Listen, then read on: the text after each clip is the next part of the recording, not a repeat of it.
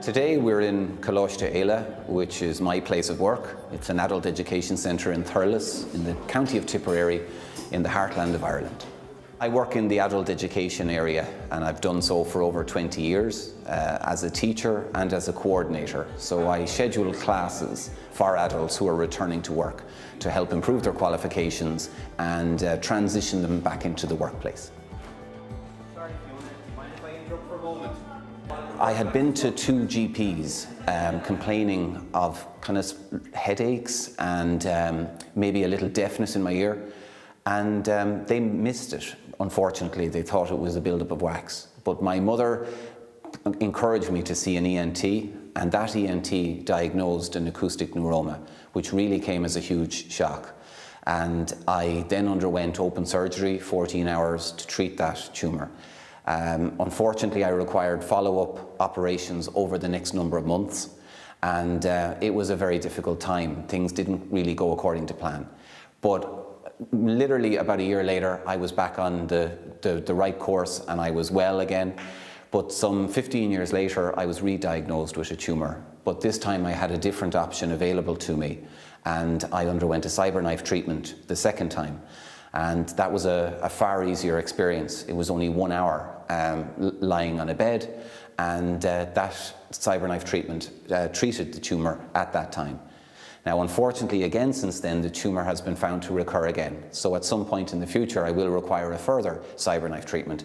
And I'm being monitored by my neurosurgeon, Mr. Daniel Rawluk, and uh, he'll make the decision as to when that happens. And I took a little bit of time off work after the treatment. I took about two weeks.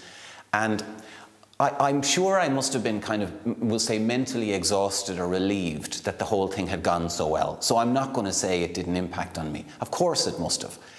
But I could have gone back to work the next day. You know, really, I felt great. Because it, this, the treatment was in November and December, which are quite wet months, sometimes I would take a bit of a break during the, the Christmas. So, so I went back running in the new year. Um, I went back running in the new year. And I was involved with um, with, I, I, kept up my coaching. Uh, I was coaching kids in athletics and in, in, um, in, in hurling. I, I, stayed involved with the, I don't think I missed any training sessions. I might have missed one or two, but no, I stayed involved with things. Every day has been brilliant since, including all the time through the cyberknife treatment. So I'm very, very fortunate to have a, the support of my parents and my two sisters and my brother, and the support of my wife and the kids. So my wife has been my rock. My initial experience definitely made me a lot more active in that previously I might have said, I'd like to do this or I'd like to do that. I stopped that and I started doing this and doing that. So um, I've been to Romania. I, I, worked in Romania for four years with street kids, whereas for years before that I said I must go and maybe do something like this. Um, I've driven articulated lorries all across Europe and back. I always wanted to drive a truck, but decided I was going to do it. Um, I wanted to get involved in coaching, so rather than wanting to, I started to do that.